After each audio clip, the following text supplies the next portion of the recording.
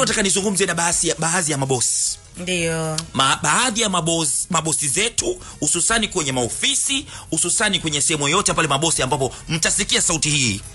Mabosi eh, leo jogoo la kwenu mjifunze baadhi ya kuongea na lugha kwa wafanyakazi wenu.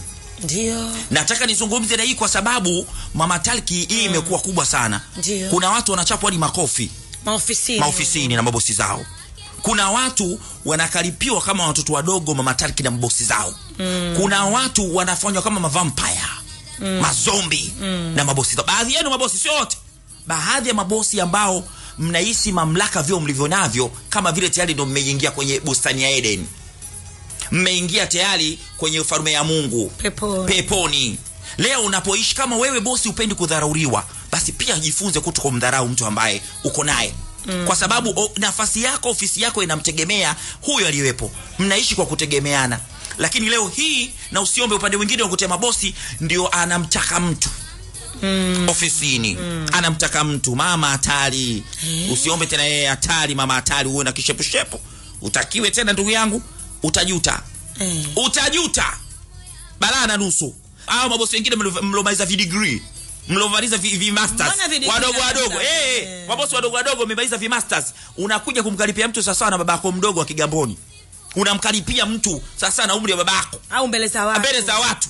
Tumia hekima. Mimi naamini unapokuwa bosi unakuwa unatoka uwe na hekima. Mm. amekosea mfanyakazi mwite sehemu stahiki ya kuja kuzungumza naye. Lakini sio sehemu ya kumtoa thamani. Sehemu ambayo ina momenti za watu unaenda kumzungumzia yule mtu.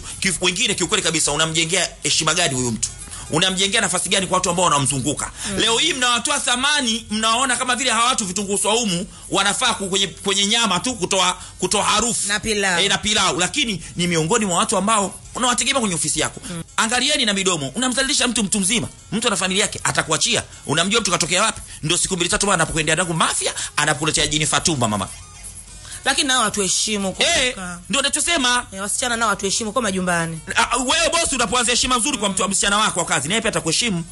Asa bosi una, wengine mabosi wengine wanachoyo bosi shepu ana mfanyakazi shepu anayo anamchukia. Sasa ingine tunawatuma madukani masaa nane iko dukani tu. Yule yule mwanadamu kuna siku naye atakacha akachukuche. Jamani. hachukucha hachukucha. Mpishe naye akachukuche. Unaona vizuri yeye mwanadamu naye anahisia ana moyo wa nyama hana moyo wa chuma. Lakini leo hii baadhi ya mabosi mmejitia utawala baadhi za utawala jamani na mtasafiriwa Jogoo wa mchana.